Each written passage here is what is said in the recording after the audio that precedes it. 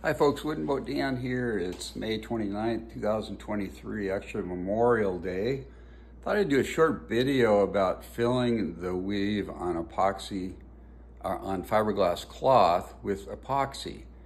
So on my peeler skiff, I've got it turned upside down right now, which you might already know. And I started by basically putting a piece of glass on each of the one, two, three, four surfaces and overlapping them in the middle.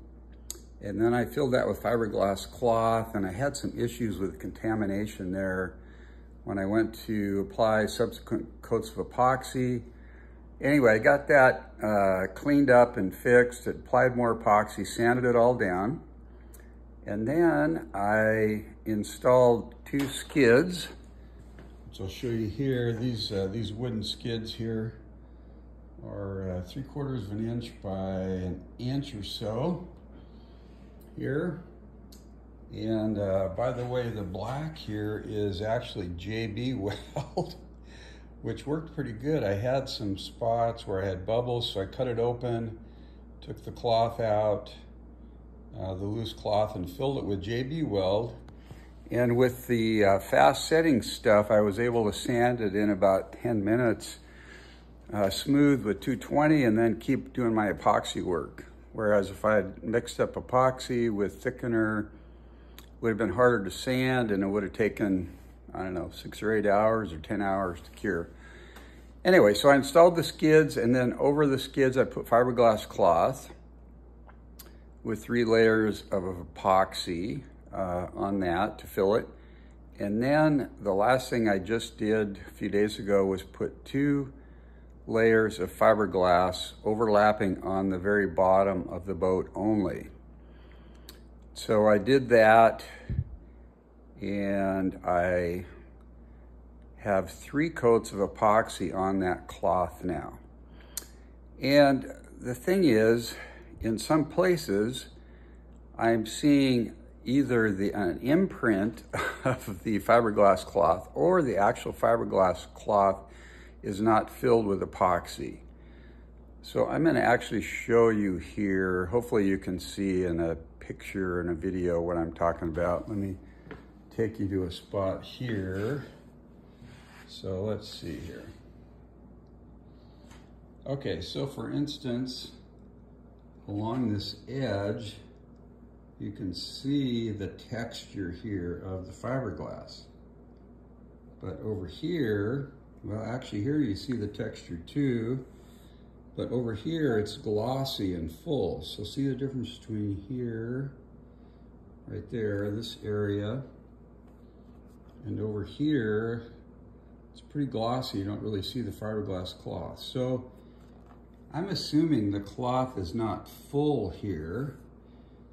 I don't know that for sure. It could just be an imprint of the fiberglass cloth that I'm seeing through the epoxy. But even though usually in the past I've been able to get epoxy gloss, uh, glass to fill with three coats, uh, I, I'm sorry, let me back up. I've been able to get the fiberglass cloth to fill with three coats of epoxy to a nice glossy surface that I can sand with 220 and I'm done. So, but I'm not happy with what I've got here right now. I don't really want to take a chance of sanding into the fiberglass cloth. So I'm going to try something different. I'm going to uh, mix up some epoxy and I'm going to put a little bit of Microlite fairing filler in it. I'm going to show you what that is here. This is West Systems brand. There's other brands out there.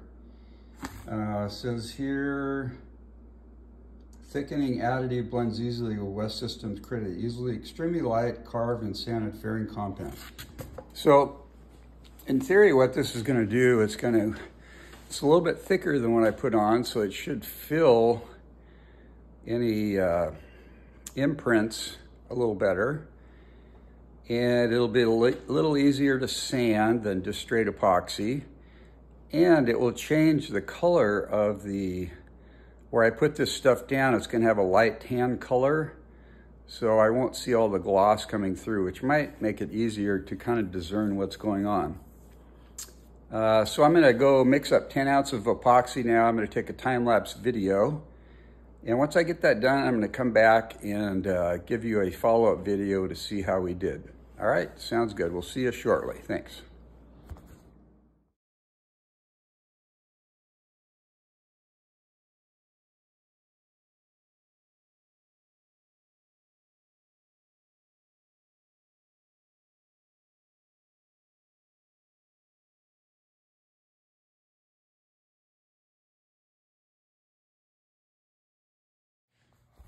Okay, folks, Wooden Boat Dan here.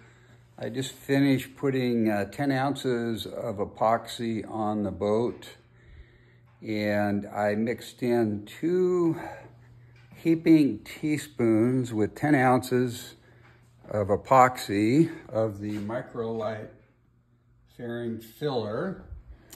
So far, I'm liking what I see. Obviously, I won't know for sure till it's dry, but I have a fairly uniform look and I'm not really seeing any place where it's apparent the cloth is showing through.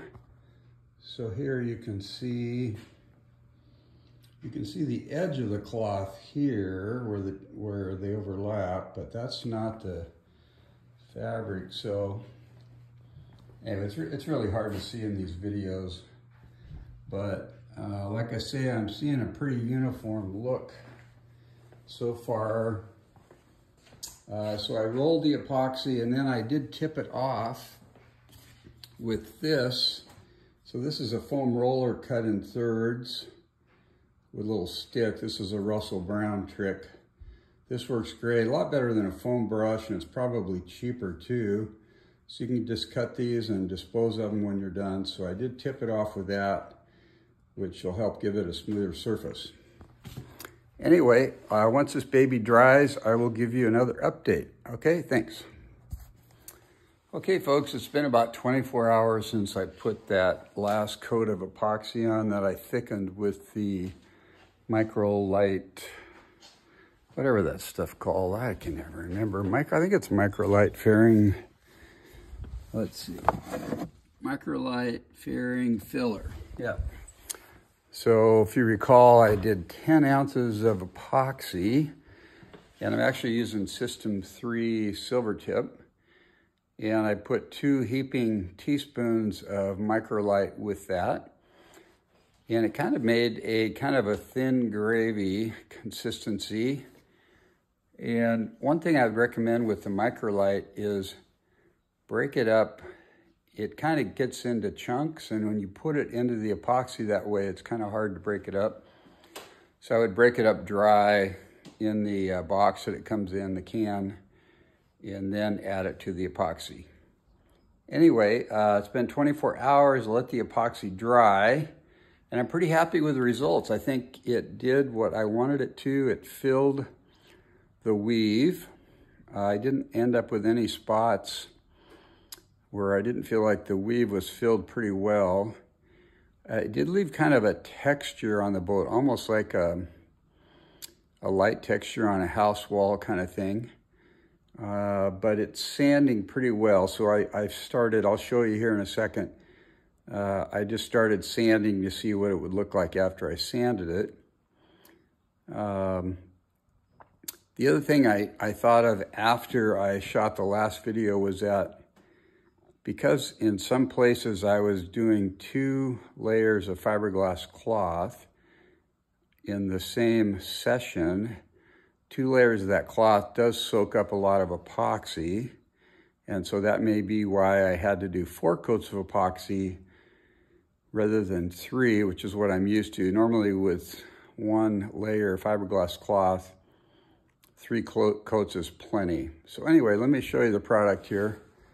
So you can see there's a, there's kind of a nice little finish uh, texture on this and it's pretty consistent throughout. Um, yeah, I can look down the boat here and you can kind of see, you can see the lines of the, the fiberglass edges along here, which I'll sand most of those out. But seriously, folks, this is the bottom of the boat, right? So, and it's a 15 foot boat, so it's not, nobody's gonna be looking underneath the whole lot, but I'm a little bit of a perfectionist, so I'll probably spend some time on those lines here and do that. And then I'll show you back here where I just started to sand. So back here, it's sanding it pretty nice. Uh, I'm using my little uh, DeWalt orbital sander and I just got this uh, battery powered version of it.